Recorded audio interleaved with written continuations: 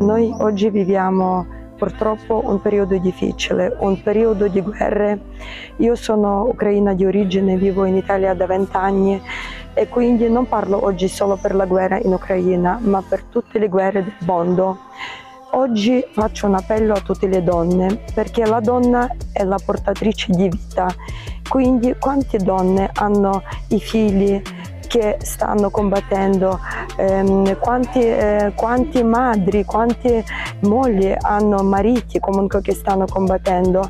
Io faccio a tutte le donne del mondo, alle mamme, a donne del, del mariti e di potere per dire firmiamo queste guerre perché tanta gente sta morendo. Noi siamo un popolo che siamo stati invasi, quindi non cercavamo la guerra.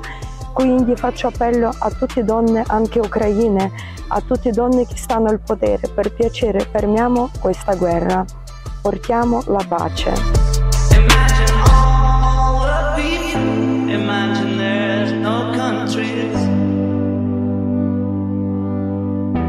And no religion too.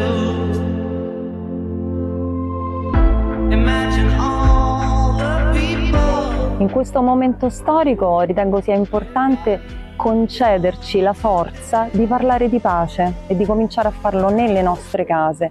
E questo è un compito molto importante e un'altra concessione che chiedo è quello di farlo alle donne, alle mamme, alle, alla parte femminile della società che ha proprio eh, a sé avvocato il, il pensiero dell'accoglienza, dell'accoglienza e della produzione di pace, di pensieri positivi, di pensieri eh, buoni che sanno di buono e che eh, faranno crescere quindi questa società. Quindi non parliamo di ehm, valori negativi o non parliamo di concetti come guerra conflitti, ma parliamo di pace, orientiamoci proprio alla costruzione quotidiana della pace, vicino a noi, sempre più lontana.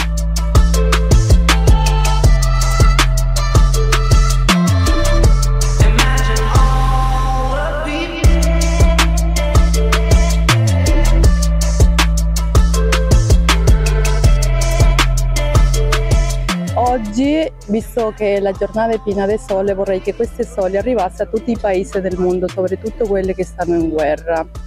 Ah, perché eh, ho la consapevolezza che tutti noi abbiamo bisogno della pace, soprattutto i bambini, bambini, donne, uomini innocenti. E io spero che questo messaggio, arrivi, oddio, a chi da dovere, eh, chiedo a tutti pace, pace per tutti. Grazie.